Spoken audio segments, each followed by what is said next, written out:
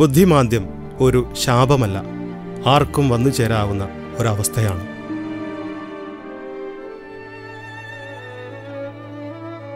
തിരക്കേറിയ നമ്മുടെ ജീവിതത്തിന്റെ വഴിത്താരകളിൽ പൊതുസമൂഹത്തിന്റെ കാഴ്ചയിലും കേൾവിയിലും അശുഭശകുനങ്ങളായി ഇവർ കടന്നു പോകുന്നു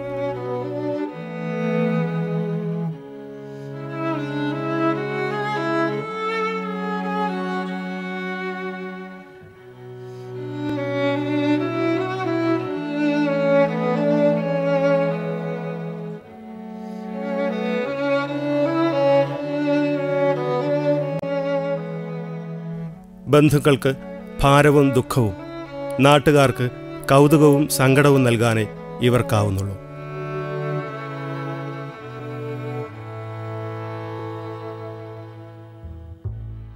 ശാരീരികവും മാനസികവുമായ വൈകല്യം കൊണ്ട് സാധാരണ ജീവിതം നയിക്കാൻ പ്രയാസപ്പെടുന്ന ഇരുന്നൂറോളം കുട്ടികൾ കേരളത്തിലെ ഓരോ ബ്ലോക്കിലും ഉണ്ടെന്നാണ് കണക്കുകൾ പറയുന്നത്.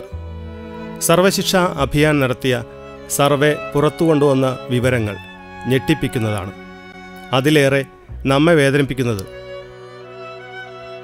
കോഴിക്കോട് ജില്ലയിൽ സർവശിക്ഷ അഭിയാൻ രണ്ട് മാസങ്ങൾക്ക് മുൻപ് ഒരു വിപുലമായ ഔട്ട് ഓഫ് സ്കൂൾ സർവേ നടത്തുകയുണ്ടായി. ബാലുശ്ശേരി ബ്ലോക്കിന്റെ പരിധിയിൽ നൂറ്റി മുപ്പത്തിരണ്ട് കുട്ടികൾ വീടുകളിൽ കിടക്കുന്ന കുട്ടികളുണ്ടെന്നാണ് മനസ്സിലാക്കാൻ കഴിഞ്ഞത്. അതുപോലെ കൊടുവള്ളി ബ്ലോക്കിന്റെ പരിധിയിൽ ഏകദേശം തൊണ്ണൂറ്റി നാല് കുട്ടികളും യാതൊരു സഹായവും കിട്ടാതെ കിടക്കുന്ന ഒരു ഞെട്ടിപ്പിക്കുന്ന യാഥാർത്ഥ്യമാണ് ഈ സർവേയിലൂടെ പുറത്തു വന്നിരിക്കുന്നത്. പതിനെട്ട് വയസ്സിന് മുകളിലുള്ള ആണും പെണ്ണുമായ ആളുകൾ യാതൊരു സഹായവും കിട്ടാതെ ഇപ്പോഴും വീടുകളിൽ കിടക്കുന്നുണ്ട്.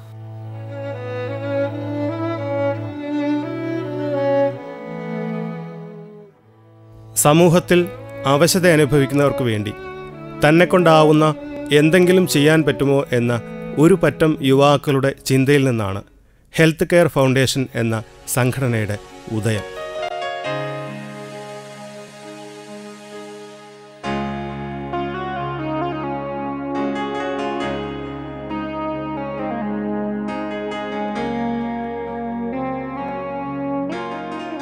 കേന്ദ്ര സർക്കാരിന്റെയും കേരള സർക്കാരിന്റെയും നിയമവിധേയമായി പ്രവർത്തിക്കുന്ന ഹെൽത്ത് കെയർ ഫൗണ്ടേഷന്റെ പ്രധാന പ്രവർത്തനങ്ങളിൽ ചിലതാണ്.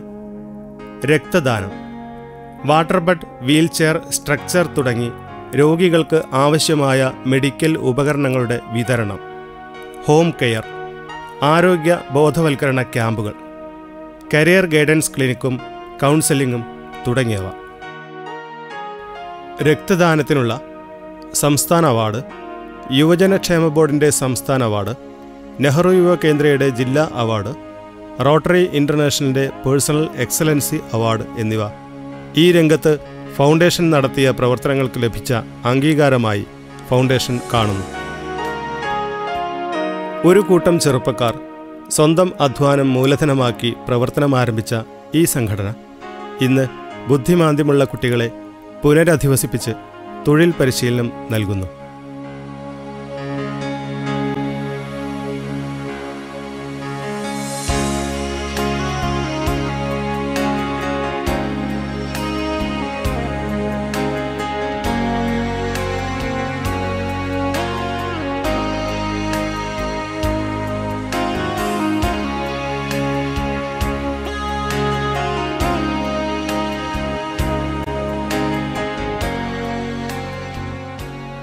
ബുദ്ധിമാന്ദ്യമുള്ള കുട്ടികൾക്കുള്ള വിദ്യാഭ്യാസം. സാധാരണ വിദ്യാഭ്യാസത്തെ പോലെ സങ്കീർണമോ സങ്കേത ജടിലമോ അല്ല. ഷഹാന പറ ഇതെന്താ? മാങ്ങ. മാങ്ങ തിന്നുണ്ടോ ഷഹാന വീട്ടിന്ന്? മാമിലൊക്കെ മാങ്ങ കണ്ടുണ്ടോ ഇതെന്താ പഴുത്ത മാങ്ങ അല്ലേ? പഴുത്ത മാങ്ങ അല്ലേ? അമ്പിളി ഇതെന്താ? മാങ്ങ. സമൂഹത്തിൽ ഇടപെടുന്നതിനുള്ള ഉപാധികളാണ് പ്രാഥമികമായി ഇവരെ പരിശീലിപ്പിക്കുന്നത്. സാമൂഹ്യവും വൈയക്തികവുമായ നൈപുണികൾ വികസിപ്പിച്ചെടുത്തുകൊണ്ട് മാത്രമേ ഇവരെ ഔപചാരിക വിദ്യാഭ്യാസത്തിലേക്ക് നയിക്കാനാവൂ. ടീച്ചർ നിങ്ങൾക്ക് ട്രാഫിക് ലൈറ്റിനെ കുറിച്ച് പഠിപ്പിച്ചു തരാം. കേട്ടോ അപ്പൊ ഇത് പഠിച്ചു കഴിഞ്ഞാൽ ഞങ്ങൾക്ക് എവിടെയെങ്കിലും എങ്ങോട്ടെങ്കിലും പോവൊക്കെ ആണെങ്കിൽ ഇപ്പൊ വണ്ടിയിലൊക്കെ ആണെങ്കിൽ വണ്ടി നിർത്തിയിട്ടേ ഞങ്ങൾക്ക് അറിയാം അതിപ്പോൾ എന്തിനാ നിർത്തിയേ. അപ്പോൾ എന്നെ ലൈറ്റ് കണ്ടിട്ടാണ് ഇത് നിർത്തിയത് എന്നെ ലൈറ്റ് കണ്ടിട്ടാണ് ഇത് പോണെന്നൊക്കെ നിങ്ങൾക്ക് മനസ്സിലാക്കാൻ സാധിക്കും. ഇത് പഠിച്ചു കഴിഞ്ഞാൽ ഇല്ലേ? പറ്റൂലേ? എല്ലാവർക്കും പറ്റൂലേ? ശൈശവ കാലഘട്ടത്തിൽ എല്ലാ കുട്ടികളും ചിത്ര ശില്പരചനയിൽ രചനയിലേർപ്പെട്ട് സ്വന്തം ബുദ്ധിവികാസം ഉറപ്പുവരുത്തുന്നു. ഇവിടെ ചിത്രരചനയുടെ അകക്കാമ്പ് കുട്ടികളെ പരിശീലിപ്പിക്കുന്നു. Pre primary primary secondary vocational training job unit പുനരധിവാസം എന്നിങ്ങനെ വിവിധ ഘട്ടങ്ങളിലൂടെ പ്രവർത്തിക്കുന്ന രീതിയാണ് ഈ സ്ഥാപനത്തിനുള്ളത് ജാതി മത വർഗ വർണ ഭേദങ്ങളില്ലാതെ എല്ലാവരെയും സ്വീകരിക്കുന്ന സുമനസ്സാണ് ഈ സ്പെഷ്യൽ സ്കൂളിന്റെ കരുത്ത്. കുട്ടികൾക്ക് രക്ഷിതാക്കളും മാർഗദർശികളും അത്താണിയുമായ അധ്യാപകരാണ് ഈ സ്ഥാപനത്തിന്റെ ഹൃദയം. ഓരോ വിദ്യാർത്ഥിയുടെയും മനസ്സിനെ തൊട്ടുണർത്താൻ അപാരമായ സിദ്ധി ഇവർ പ്രകടിപ്പിക്കുന്നു.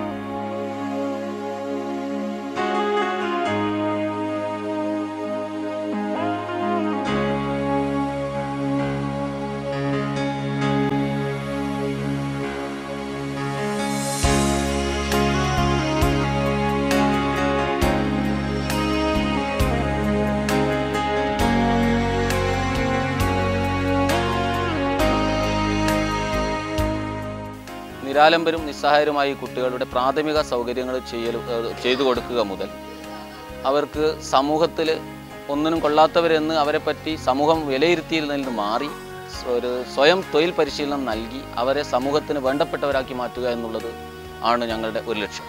തന്നെയുമല്ല ഈ കുട്ടികൾ സമൂഹത്തിൽ നല്ല വ്യക്തികളായി മാറ്റിയെടുക്കുക എന്നുള്ള ടോട്ടലി ഇവരുടെ പേഴ്സണാലിറ്റി ഡെവലപ്മെന്റ് കൂടി ഞങ്ങൾ ഏറ്റെടുത്തിരിക്കും ഹെൽത്ത് കെയർ ഫൗണ്ടേഷന്റെ സ്പെഷ്യൽ സ്കൂൾ ഇപ്പോൾ വാടക കെട്ടിടത്തിലാണ് പ്രവർത്തിക്കുന്നത്. അതുകൊണ്ട് തന്നെ കുട്ടികൾക്ക് താമസിച്ച് പഠിക്കാനുള്ള സൗകര്യങ്ങൾ ഇന്നില്ല. ഫൗണ്ടേഷന് സ്വന്തമായി വാഹനമില്ലാത്തതിനാൽ വാടക കൊടുത്ത് ടാക്സികളിൽ കുട്ടികളെ എത്തിക്കുകയാണ് ഇപ്പോൾ ചെയ്യുന്നത്. ഏത് ഭാഗത്തു നിന്ന് വരുന്ന കുട്ടിയെയും ഇവിടെ സർവാത്മന സ്വീകരിക്കുന്നു.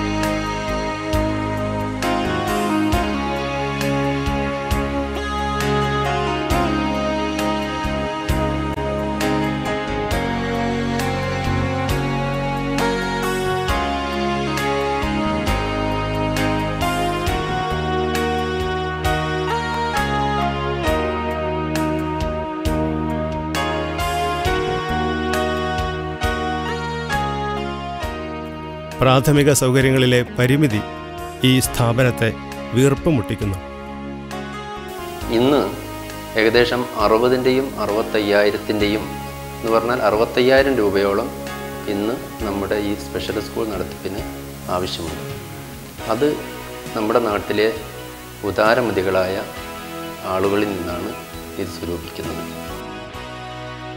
പല കാരണങ്ങൾ കൊണ്ട് പുറത്തു പോകാൻ കഴിയാത്ത കുട്ടികൾക്ക് വിദ്യാഭ്യാസത്തിനുള്ള സൗകര്യവും ചികിത്സയും ഫൗണ്ടേഷൻ വീട്ടിലേക്ക് എത്തിക്കുന്നു ഇരുപത്തേഴാമത്തെ വയസ്സാ. ഭൂമിയിൽ മുളച്ചന്ന് തൊട്ട് ഇന്ന് വരെ മലർന്ന് കിടന്നിടത്തുനിന്ന് തിരിയാനോ മറിയാനോ എന്റെ കുഞ്ഞിക്ക് പറ്റൂല. ഒരു സാധനം എടുത്തിടാൻ അതിന് സാധ്യമല്ല അതിന്റെ മലവും മൂത്രവും പുറത്തു പോക്കാൻ അതിന് കഴിവില്ല. ഒരു കേടും പാടും പറ്റിക്കാണ്ട് പൊന്നിന്റെ കട്ട പോലെ ഞാൻ നോക്കിയിട്ടെടുത്തേക്ക് ഇപ്പം എന്റെ തടിയൊട്ടാകെ വീണ് കിടക്കുക കാലുമില്ല കൈ വരക്കെട്ടും എല്ലാം പറ്റ വീണ് നശിച്ചു പോയിട്ടുണ്ട്. അതിനും വേണ്ടിയിട്ട് എന്റെ ആരവായ പൊന്നാര മക്കൾ ഈ പൂനൂരിൽ നിന്ന് വന്നിട്ട് ഓല സഹായ ഓല തണി ഓല തണൽമരിയാഞ്ച മോൾ ഞാൻ ഇവിടെ നാറിപ്പാണ്ട് പൊയ്ത്ത് പാണ്ട് ജീവിക്കുന്നത്. കുട്ടികൾക്ക് എല്ലാം സൗജന്യമായി നൽകുക എന്ന മഹാമനസ് സ്ഥാപനത്തിന്റെ യശസ്സായി ഉയർന്നു നിൽക്കുന്നു. അഭിതയകാംക്ഷികളുടെ സഹായവും നാട്ടുകാരുടെ സഹകരണവുമാണ് ഈ സ്ഥാപനത്തെ നിലനിർത്തുന്നത്.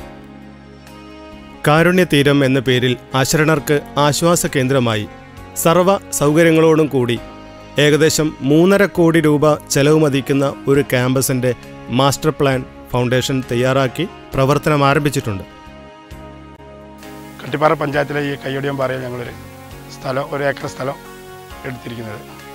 ഇവിടെ ഞങ്ങൾ ഉദ്ദേശിക്കുന്നത് സമീപത്തുള്ള ഏകദേശം ഇരുന്നൂറോളം വിദ്യാർത്ഥികളെ ഇവിടെ പുനരധിവസിപ്പിച്ച് അവർക്ക് വേണ്ട കളിസ്ഥലം അവർക്ക് വേണ്ട ഡിസ്പെൻസറി അവർക്ക് വേണ്ട ജോലി സൗകര്യം. അവരെ ആയുഷ്കാലം വരെ അവരെ പുനരധിവസിപ്പിക്കാനാണ് ഞങ്ങൾ ഈ പ്രൊജക്റ്റിൽ ഉദ്ദേശിക്കുന്നത്.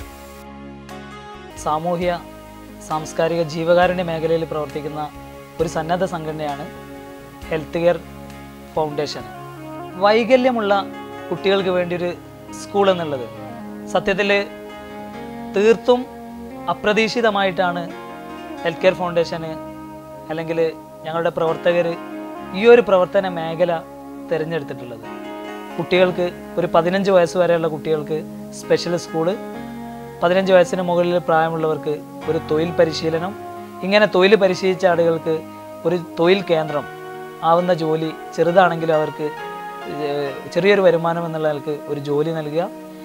അതിനേക്കാൾ അങ്ങനെ ജോലിയൊക്കെ എടുത്ത് അവർ ജീവിക്കുന്ന സമയത്ത് അവർക്കൊരു പുനരധിവാസം എന്നുള്ള നിലയ്ക്ക് ഒരു റിഹാബിലിറ്റേഷൻ സെന്റർ ചുരുക്കത്തിൽ അവർ ആയുഷ്കാലം മുഴുവൻ സന്തോഷത്തോടു കൂടി കളിച്ച് ഉല്ലസിച്ച് പഠിച്ച് ജീവിക്കാനുള്ള ഒരു ക്യാമ്പസ് ഇതാണ് കാരുണ്യ തീരം എന്നതുകൊണ്ട് ഉദ്ദേശിക്കുന്നത്.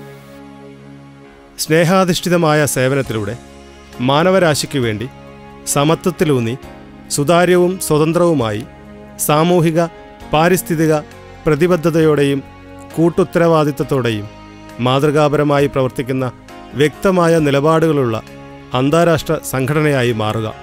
ഇതാണ് ഹെൽത്ത് കെയർ ഫൗണ്ടേഷന്റെ വിഷൻ ട്വന്റി ട്വന്റി ഈ ലക്ഷ്യ സാക്ഷാത്കാരത്തിനായി നിങ്ങളുടെ സഹകരണവും പ്രാർത്ഥനയും ഞങ്ങൾ പ്രതീക്ഷിക്കട്ടെ. Health care foundation post Unnikulam Poonoor ആറ് ഏഴ് മൂന്ന് അഞ്ച് ഏഴ് നാല്. Kozhikode Keralam south India. Website W W dot health care foundation dot in. Email mail at health care foundation dot in phone തൊണ്ണൂറ്റൊമ്പത് നാൽപ്പത്താറ് അറുപത്താറ് പത്ത് എൺപത്തൊമ്പത്.